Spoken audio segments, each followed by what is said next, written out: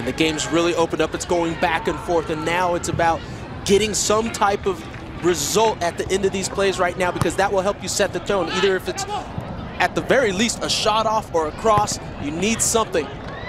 Casey's delivery there in hot water. It's flicked across. The volley is there, and so is the second goal. Stefano Bonomo.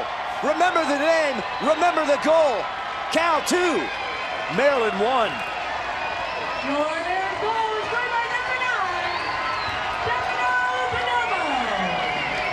And what a play by Bonomo. We were just talking about getting something as the getting something off of a play as things are building up. And we saw right here, you got the cross in, then a good connection right there off of the pass right to Bonomo, and then just a little bit of a side volley from Bonomo. This is just brilliant play all over the place by Cal, getting numbers in the box, making sure that you're in the right positions. And Bonomo, as we talked about at halftime, comes through.